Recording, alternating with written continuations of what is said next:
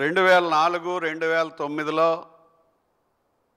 రాజశేఖర రెడ్డి గారి ప్రభుత్వం మేము వస్తే కాపుల్ని బీసీల్లో చేరుస్తాము అని చెప్పి మేనిఫెస్టోలో పెట్టి ఓట్లు వేయించుకున్నారు.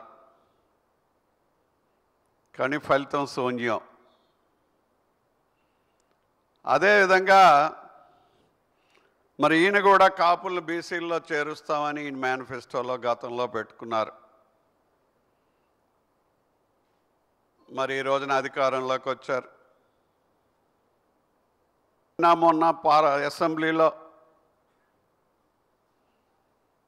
ప్రజెంట్ ముఖ్యమంత్రి గారు కూడా కాపులకు అన్యాయం చేసేటటువంటి కార్యక్రమంలో నిమగ్నం అయి ఉండి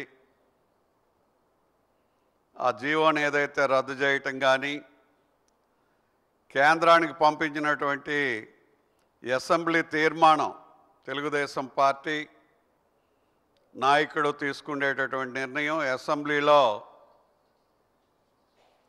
మరి దాన్ని పాస్ చేసి సెంట్రల్ గవర్నమెంట్కి రాజ్యాంగ పరంగా పంపించడం జరిగింది.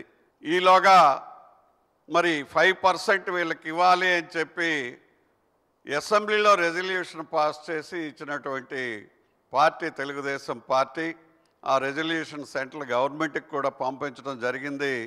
అక్కడి నుంచి క్లారిఫికేషన్ కూడా ఎలక్షన్ టైంలో వచ్చింది.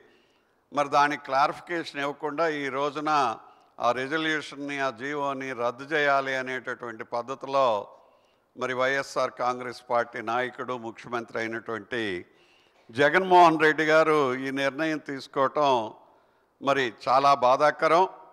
దీన్ని ఎందుకు అక్కడ ఉండేటటువంటి నాయకులు ఉన్నారు? చాలా రోజుల నుంచి పోట్లాడుతున్నాం. కాంగ్రెస్ హయాంలో హామీలు ఇచ్చాం ఓట్లు వేయించుకున్నాం. కానీ ఏమీ మనం చేయలేదు.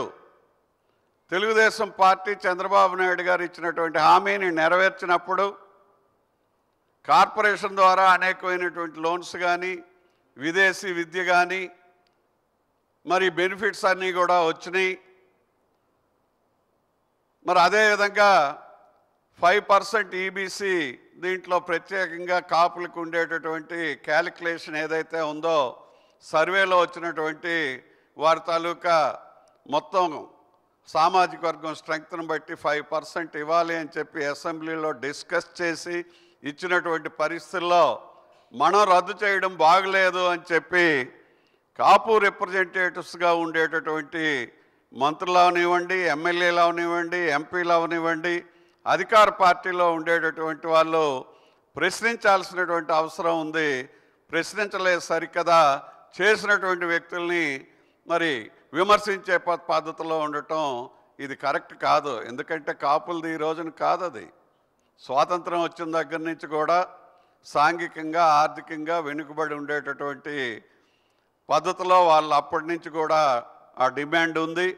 మరి దాన్ని ఒక కమిషన్ వేసి మంజునాథ్ కమిషన్ని వచ్చినటువంటి దీంట్లో వాళ్ళకి తెలుగుదేశం పార్టీ ప్రభుత్వం చంద్రబాబు నాయుడు గారు చేసినటువంటి న్యాయాన్ని కూడా ఆ ఫలాన్ని కూడా వాళ్ళకి అందకుండా వైఎస్ఆర్ కాంగ్రెస్ పార్టీ ముఖ్యమంత్రి గారు జగన్మోహన్ రెడ్డి గారు వారి నోటి దగ్గర ఉండేటటువంటి కూడును కూడా పై పక్కకు పడేసేటటువంటి పరిస్థితి ఇంత అబ్రప్ట్గా చేశారు అని అంటే వాళ్ళ రిప్రజెంటేటివ్స్గా మీరు ఆ పార్టీలో ఏం చేస్తున్నారు మీరు మీ వాళ్ళందరికి కూడా జవాబు చెప్పాల్సినటువంటి పరిస్థితి మీకు ఉంది అని చెప్పి కూడా వాళ్ళని కూడా నేను ప్రశ్నిస్తున్నాను ఈ వేదిక ద్వారా అని చెప్పి మీకు అందరికీ మీ ద్వారా నేను మనవి చేస్తున్నాను.